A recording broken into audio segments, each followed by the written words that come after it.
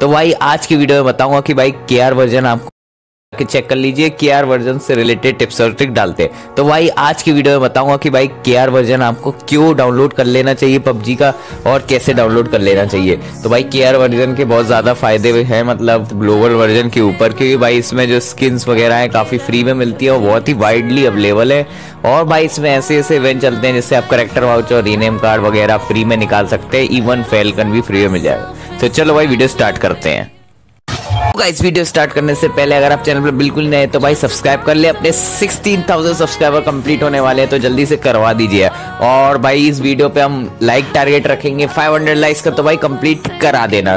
और भाई जल्दी से करवा दो, ठीक है? तो भाई, आज अपन डिस्कस करेंगे कि भाई, पबजी के आर वर्जन आपको क्यों डाउनलोड करने लेना चाहिए? तो भाई, मैंने एक पोल करा था पबजी ग्लोबल खेलते हैं, बल्कि अगर आप देखेंगे तो भाई, ये जो रिडीम सेक्शन है, ये है पबजी के आर वर्जन का, भाई, इसमें आपको गन स्किन रिडीम कर सकते हैं, और भाई, इसमें बहुत ही अच्छी अच्छी आउटफिट है, जो आप सिर्फ़ सिल्वर फ्रेगमेंट से अनलॉक कर सकते हैं, जो कि पबजी ग्लोबल वर्जन में बिल्कुल भी अवेलेबल नहीं है। जैसे ये पैराशूट रहा, ये ग्रोजा की स्किन रही, और भाई जिन पे रॉयल पास नहीं है तो भाई उनके लिए तो ये बेस्ट वर्जन मैं कहूँगा। ठीक है? और ऐसी अगर आप नीचे जाइए प्लेन की स्किन आपको मिल जाएगी। और देखिए रग्ड ऑरेंज कार 90 स्किन की आपने देखी हुई बंदों पे होती होगी तो वही वो के आर वर्जन की वजह से आई है।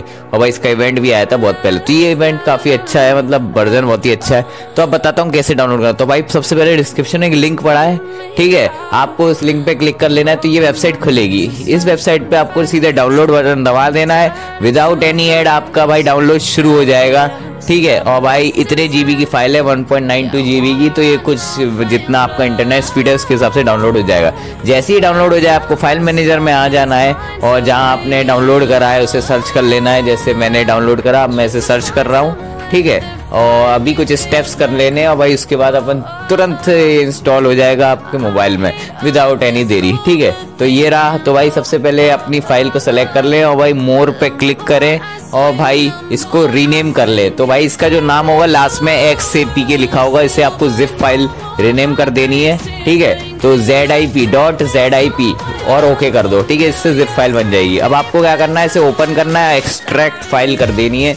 तो आप कोई भी अपने फोल्डर में एक्सट्रैक्ट कर ले। जैसे मैं अभी कर रहा हूँ, यहाँ पे एंड्रॉयड फोल्डर में एक्सट्रैक्ट कर ले रहा हूँ। तो ये मैं फटाफट से जल्दी से एक्सट्रैक्ट कर लिया। तो ये टेन एक्स स्पीड पे एक्सट्रैक्ट हो रहा है, वरना थोड़ा सा टाइम लगता है, ठीक है? तो एक बार एक्सट्रैक्ट होने के बाद आपको वही वाला फोल्डर फिर से खोल लेना है, जहाँ पे आपने एक्सट्रैक्ट करा था।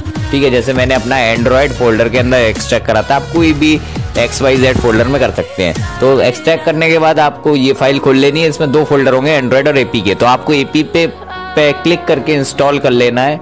इंस्टॉल पे क्लिक करें। हो सकता है इधर आपसे पूछे कि भाई, आपकी सेटिंग ब्लॉक्ड है तो भाई सेटिंग में जाके अननोन सोर्स को इनेबल करके फिर से इंस्टॉल कर लेना।